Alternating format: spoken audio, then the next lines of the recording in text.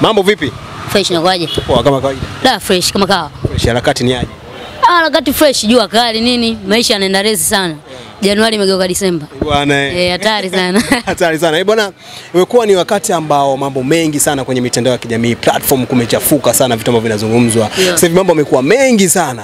Wewe unahisi kwa nini sasa sana watu wanatupia upepo sana sana kule kwa upande wa Wasafi na vitu ambavyo wanavifanya? Da, matukio ni mengi. Unajua Wasafi wana, wanaweza kuendesha mitandao, wanaweza kuiendesha nchi jinsi ambavyo inataka. Yaani wao wana, wanaweza kutu control, kuicontrol mitandao. Sio umenielewa? Kwa hiyo wao wana, wana, wanatufanya sisi yani, yani wao ndo wao ni kama remote. Wakitaka twenda huku tunakwenda, wakitaka twende huku tunakwenda. Kwa hiyo wao wamekuwa sasa hivi ni kama limonti, sisi tumekuwa kama TV sasa. Yaani wanatuendesha wanavyotaka. Yeah, kwa hiyo mambo yamekuwa mengi sana kwenye familia ya WCB. Kwa hiyo mambo ni mengi kweli kweli. Unahisi hizo nyingine ambao tofauti na Wasafi wanashindwa kufanya hivyo na wao wakaanza kutengeneza attention kama hizo? Ah, no, kila mtu ana maisha yake unajua eh. Uh, Huwezi kufananisha maisha ya mtu fulani na mtu fulani. Uh, kuna watu wana maisha yao ya kistaa lakini kuna watu pia wana maisha yao ya wao tu wenyewe. Yani ukitoa jina lake kwa mfano mtu kama Alikiba anaga hizo mambo. Mtu kama labda kwa mfano mtu kama Barnaba anaga hizo mambo. Si umenielewa? Kwa hiyo toka awali tayari watu walishazoea kwamba ukitaka skendo utaingia kwa Diamond at least, na kwa sababu Harmonize katoka kwenye ubavu wa Diamond, kwa hiyo naye anafuata zile nyendo za Diamond. Kwa hiyo sasa hivi upepo uko WCB, sio kama wengine hawawezi kufanya, lakini kila mtu ana maadili yake na mipaka yake kwenye kazi zake. Kwa hiyo tayari sisi tushajua Diamond Platinum ni mtu wa maskendo, ni mtu wa makike, yani familia yao yote kwa ujumla, kuanzia mama, dada, kaka, mjomba, changazi, bibi, wote yani watu wa skendo skendo. Kwa hiyo tayari sisi kama sisi wa Tanzania ama watu ambao tunafuatilia mitandao tusha tushajengeka kisaikolojia kwamba tukizungumzia familia ya WCB mm. ya kina Diamond tunazungumzia familia ambayo kwanza haishui vituko, haishi skendo. Yani ni watu ambao wanazungumzwa mara zote. Yani sijawahi kuona hata siku moja toka naanza kujua Instagram pamoja na Facebook na WhatsApp sijui Snapchat. mm. Sijawahi kuona hata siku moja imepita bila watu kuzungumzia familia ya Diamond. Kama utamzungumzia Diamond utaigusa WCB. Kama utaigusa WCB utamgusa mama yake. Yani ni, ni familia ambayo yani kiukweli imetake sana advantage kwenye masuala ya mitandao. Sio kama wengine hawawezi, ila kila mtu ana mipaka yake, ana sheria zake, ana mwongozo wake kwenye ufanyaji wake wa kazi. Sometime hivi vitu vya kuweka mambo ya kifamilia kwenye mitandao inawezekana vina manufaa kwa sababu labda vinakuza brandi ya familia, lakini kuna mambo fulani yakitokea vinashusha brandi ya familia. Mfano, jambo ambalo limetokea juzi kati kuhusiana na mama Dangote sio jambo ambalo linaipandisha familia, ni jambo ambalo kiukweli linaishusha familia. Jambo ambalo limetokea kwa Esma ni jambo ambalo linaidhalilisha familia. Yaani tunaona ah, watu ambao tulikuwa tunaipenda familia Diamond, tunaona mbona kama hii familia ni ya kipuzi. Sio kama watu ambao hiyo ni wapuzi, ah, ah. lakini vitu ambavyo vinatokea, mara huyu katembea na wifi na, na shemeji yake huyu, mara sijui Diamond anampenda sana shemeji yake wa- wa- walikadomomo, yani vitu ambavyo havieleweki. Mara mama kaja kutangazia mzee Abdul sio baba Diamond. Kwa hiyo kuna vitu sometimes wakivifanya vinapandisha familia, lakini kuna vitu sometimes wakifanya vinashusha familia. Kwa hiyo tayari tushajenga hiyo mentality ya kwenye kichwa chetu kwamba tayari kwamba WCB familia ile ni familia ya maskendo, makiki, manini, yani jambo haliendi bila kufanya kitu yeah. na pengine labda hii ndio itakuwa inasababisha kwamba mwanamuziki Diamond anakuwa anafuatiliwa zaidi na Wasafi kwa ujumla kutokana na hivi vitu ambavyo vinafanyika, ama ni vipi? Unajua nikwambie kitu, watu ambao wanampandisha Diamond ni wanawake zake, yani bila wanawake wake Diamond hamna kitu. Kweli? Mamangu mwanamke anakwambia, yani watu wanaompandisha Diamond ni wanawake zake, si umenielewa? Wewe angalia tu Diamond akiwa na mwanamke. Subiri nikunaniwa kitu kimoja. Diamond aliachia kabla hajaachia wa alikuja Zari hapa, si umenielewa? Diamond akawa yuko moto, yani ukifungua peji yoyote ni yeye, yani huwezi kumkwepa. Unamkwepaje sasa? Kwa hiyo tayari watu wameshajenga hiyo akili. mm. Watu ambao wanampandisha Chibu ni wanawake zake, kubali ukatae. Hakuna mw- mtu mwingine yoyote yule, haijalishi ni Tanasha, haijalishi mwanamke yoyote. Utaka uamini, Diamond amposti mwanamke yoyote tu kwenye peji yake, cheki maneno atakavyo watakavyofurumua huko. Kwa hiyo watu ambao Diamond ana upepo wa wanawake, yani nyota nyota Diamond iko kwa wanawake zake, na mwanamke ambaye anaweza kuishi na Diamond ambaye anaweza kumpandisha ni Zari. Full stop, hakuna mwingine. Nakupa kitu kimoja, Zari alivyokuwa na Diamond uh, Diamond alikuwa ana, ana vitu vingi ambavyo amevifanya. Alichukua tuzo nyingi, yale matuzo makubwa makubwa, sijui MV nini huko, mimi matuzo yao mimi hey! alivyoachana naye, niambie tuzo gani kubwa kachukua? Hakuna. Kwa hiyo nyota yake iko kwa wanawake zake yeah.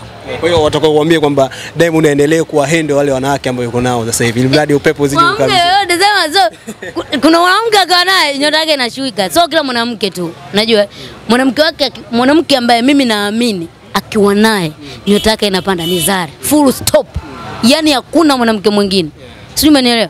Tanasha ana upepo wa watu, sijui umenielewa, yani ni mtu ambaye apendagi mwenyewe watu na nini hivyo. Kwa hiyo Tanasha mwenyewe ana upepo wa watu, ana upepo ile ya kupendwa sana. Zari ana followers sijui milioni milioni kumi wamefika hivyo, lakini watu ambao wengi wamemfollow hata sio watu wa Uganda, wabongo watu ambao wanamfuatilia wabongo. Haya, kaja Tanasha jana, watu wanammesha Zari. Wewe Zari anahusikana nini wakati yeye ujio ni wa Tanasha? Kwa hiyo unaona ni jinsi gani wanawake wake wanampa sapoti kubwa sana, na sio wanawake tu, kuna wanawake akikutana nao. U, yani ukubwa wa Diamond unazidi kuwa mara mbili ya. Nyota yake inang'aa. Mtu wa kwanza ni Zari, labda wa pili Wema Sepetu alivyokuwa naye, nyota yake iling'aa.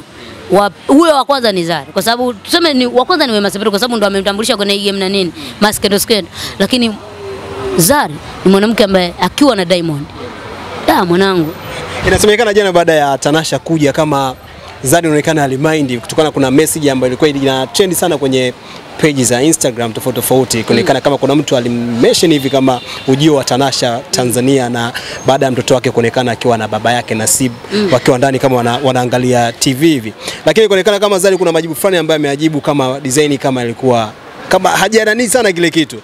We unahisi kweli Zari anaweza akamind wa Tanasha kuja Bongo? haiwezekani. Sasa kwa nini ana mind jamani?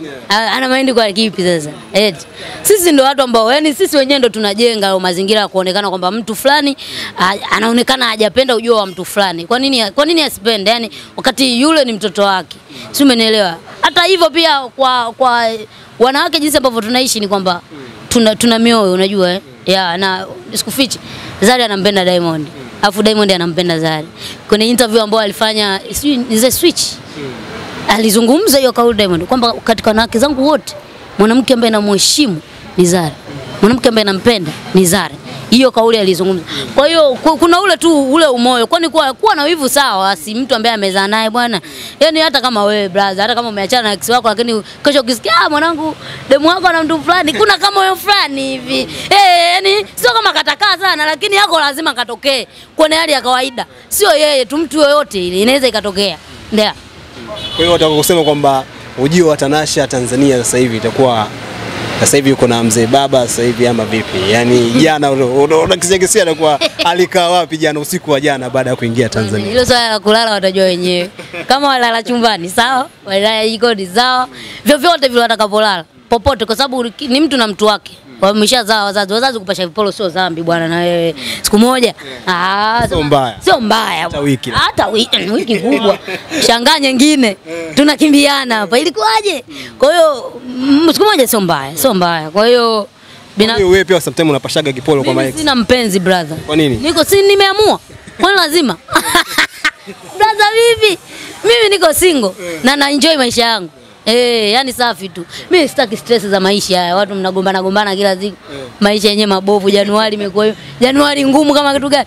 Mimi niko single mwanangu. Yeah. Bwana, hii ya, ya, wana, wapo ambao wanasema kama Diamond mtoto wa Hamisa Mobeto ambaye amezaa naye, kama hampi mapenzi yale ambayo anawapa watoto wa Zari ama mtoto ambaye amezaa na Hamisa Mobeto, kama hivyo tunaona yuko ndani hivi hivi vurugu vurugu ni vitu kama hivyo. Hii unaizungumzia? Mimi kama napewa nafasi ya kumshauri Diamond kama anaamini ule mtoto ni damu yake na anaamini pia anaamini hivyo kama ni damu yake a play part yake. Unajua Diamond sometimes anafanya maamuzi kutokana labda na, na shindikizo labda la bibi mkubwa na nini, lakini mimi naamini Diamond ni mtu mzima, ana akili zake timamu na yeye ni baba, si umenielewa? A play part yake kama baba, asiweke asiweke mipaka, yani asio asionekane kwamba ah, huyu anampendelea sana, huyu mbona ampendelei sana. Kwa mfano watu wamekuwa wakileta judgment sana, nimeona mitandaoni kwamba kwa nini Diamond hajaenda kumpokea eh, na Tanasha. Kwa nini alivyokuja Zari hivyo makabela alijaa magari kibao, yani ilikuwa hivyo. Yani kuna utofauti mkubwa sana kati ya Diamond kati ya Zari na Tanasha. Kwa hiyo watu waelewe pia huo utofauti upo kati ya, ya Zari na Tanasha. Kwa hiyo kama Diamond anaamini yule anaitwaje yule mtoto? Ni nani? Sijui Dylan, kama anaamini ni damu yake, basi anatakiwa yeye, cha msingi anachotakiwa kufanya ni, kut, ni kushow love watoto wake wote, yani asitupe sisi maswali "Ih, mbona yule anampenda kidogo, mbona huyu anampenda sana, mbona yule mtoto yule, yani inaonekana kama anamtenga yule mtoto na nini, lakini mimi naamini Diamond ni mtu mwenye hekima zake na busara, anaweza kufanya jambo. Kwa hiyo chochote kutoka kwa Diamond na ambacho anaweza kumshauri aplay part yake kama baba, aache maneno ya kusikiliza aidha ni mama au ni nani, kwa sababu watu wengi wanazungumza bwana Diamond mama yake kama kiganjani sijui na nini na nini. Kwa hiyo yeye mwenyewe ndo aplay part yake yeye kama yeye. Swala la kuplay part pati yako kama baba kwa watoto wako halihitaji ushauri wa mtu fulani, ni wewe mwenyewe kuangalia akili yako na mawazo yako kwamba ya yule ni mtoto wangu anataka moja mbili tatu nne tano sita saba hivyo. Kwa hiyo maisha yapo hivyo. Kwa hiyo binafsi yangu yeye yeah, aplay part yake kama baba bila kusikiliza ushauri wa mtu yoyote yule, aidha ni mama ama ni nani, kwa sababu yeye ni baba, anatakiwa asimame kama baba na aonyeshe upendo sawa kwa watoto wake, kwa sababu wale ni watoto watakuwa, mwisho wa siku watakutana. Oh, mi baba nasikia baba alikuwa ananipenda sana wewe. Ah, sasa hizo habari za kishamba unajua. Kwa hiyo yeye kama yeye inabidi afikirie aplay part yake. Yeah. Bwana design kama tumepiga story nyingi sana kama tufike mwisho. Yeah, ah, mwanangu story nyingi sana. Neno la mwisho ambalo labda unaweza ukaliongea hapa. Neno la mwisho na hizi mambo ambazo zinaendelea. za mitandaoni. Ah, neno la mwisho bwana, da. WCB wameamua kuigeuza Januari kuwa Disemba. Kwa hiyo inabidi kama mayua kiki ya mzee Abduli. Baada ya kumja Tanasha. Sio kiki sasa bro. Unajua mzee Abduli ni familia. Yaani ile ni swala la kifamilia. Ile sio kiki. Alafu Tanasha anaga kiki yule dada wa watu. Unajua? Yeye kama amekuja kumleta mtoto basi mwache amlete. Lakini ishu issue ya mzee Abduli sio kiki. Usizungujua kuna ishu ambazo unajua hii ni kiki. Si umenielewa? Lakini kuna issue unajua hii ni ishu ambayo iko seriously. Ile sio kiki. Si umenielewa? Labda tu kama anataka kulifunika na halifuniki, na tunasema hivi, tutashika hapo hapo kati ya mzee Abduli na Nyange. Tuko hapa, hata aje nani, labda aje- Zari ndo anaweza kukua kiki, sio Tanasha. Tanasha ana uwezo wa ku- kuwa ishu ya mzee Abduli bwana, ana huo uwezo.